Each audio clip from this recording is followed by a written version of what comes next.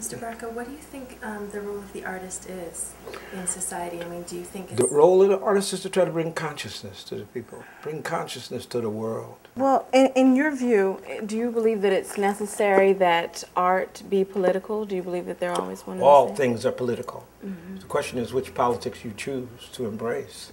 You see, there's no such thing as no politics. Even somebody that says, I have no politics, that's a political statement, you see.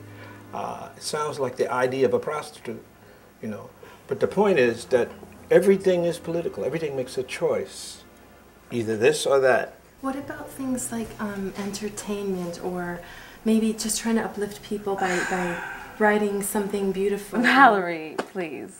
Well, is you, uh, you mean that the idea of transforming people's lives can be beautiful? I don't know. To me, that's the most beautiful thing in the world.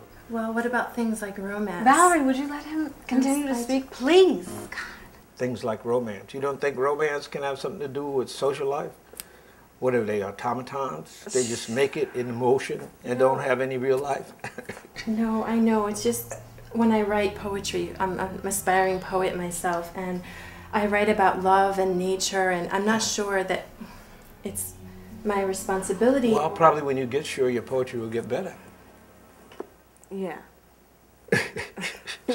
Valerie, please, like, just please be quiet, okay?